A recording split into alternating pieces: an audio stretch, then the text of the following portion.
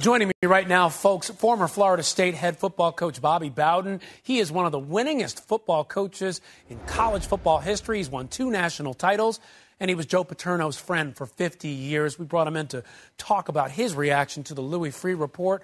Coach Bowden, great to have you with us. Yeah, good to talk to you.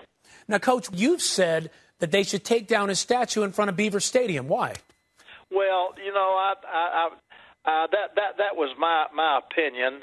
I, I just felt like uh, I, I said that really in behalf of the family without discussing it with their family and Penn State University that this thing that's happened here, they got to get over that thing. I could just picture that every time Penn State played a ball game, or every time they televise that stadium, uh, 100,000 people there in the stands, and those cameras are going to go to that statue and they're going to talk about Joe Paterno. I mean, they're going to talk about Joe, but then they ain't going to talk about them two national championships and the great record he had. They're going to talk about Sandusky.